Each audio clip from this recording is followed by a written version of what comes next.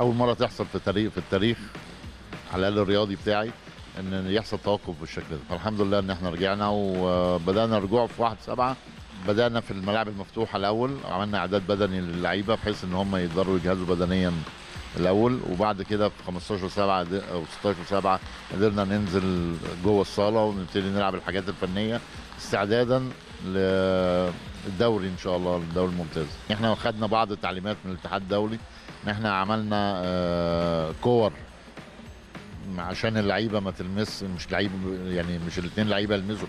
كرة واحدة عملنا كرة بلون أسود مثلا وكرة بلون تاني أحمر بحيث علامة كده مثلا زي مثلث بحيث إن كل لعيب يبقى عارف إن دي كورته على الأرض ينزل يجيبها. ما يروحش يجيب كره اللعيب التاني اللي هي معمولة بالمثلث الأسود. فيبقى كده ضمننا إن كل لعيب يلمس الكره بتاعته. وإحنا الحمد لله مطمنين بعض اللعيبة بتاعت المنتخب عملوا مساحات في ال- تبع الاتحادات.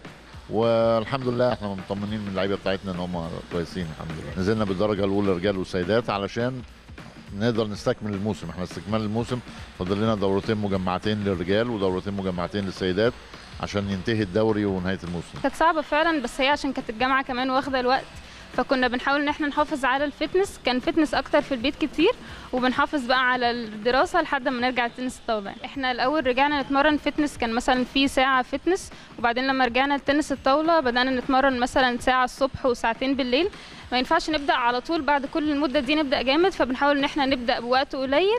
نرجع فيه التكنيك بتاع تنس الطاولة وبعد كده نبدأ جامد إن شاء الله. بس الحمد لله بنشتغل كل يوم ما عدا الجمعة يعني. لا هما بيقولوا إن شاء الله الدوري هيبقى في نص تسعة فإحنا بنحاول نستعد ليه. وإن شاء الله نعمل اللي إحنا على قد ما نقدر يعني إن إحنا نكمل و...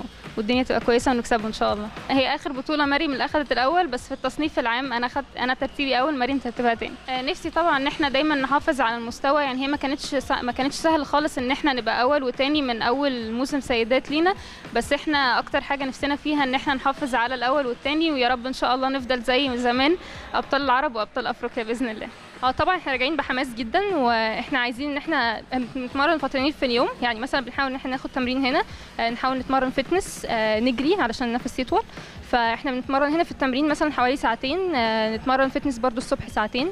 ولو عرفنا إن إحنا مثلا نلعب أنا ومروة لوحدنا مثلا في حتة تانية إنه لو مفيش تمرين الصبح عشان بيبقى أحيانا هنا السيدات آه، البيسين الصبح مفيش تمرين فبنروح مثلا نلعب في حتة تانية. هو ماتش أنا ومروة بالنسبة لي بيبقى أكتر ماتش موتر بصراحة لأن أنا ببقى عايزة أكسب جدا وفي نفس الوقت عايزاها هي تكسب فالموضوع بيبقى اللي هو يعني خايفة أكسب وفي نفس الوقت عايزة أكسب قوي لأنها بتأهل لحاجة تانية فهو بيبقى نفسيا ضغط بس بيبقى راحة إنه على الأقل مثلا لو إحنا واحدة ضامنة إنها تدخل final أو بنلعب final مع بعض الكاس في بيته فهو بيبقى بس توتر نفسي إنه كل واحد عايز يكسب التاني يعني. إحنا طبعا بنحاول نستعد هنا في النادي عاملين زي معسكر مغلق إن إحنا عشان الدوري إن شاء الله نرجع بقوتنا.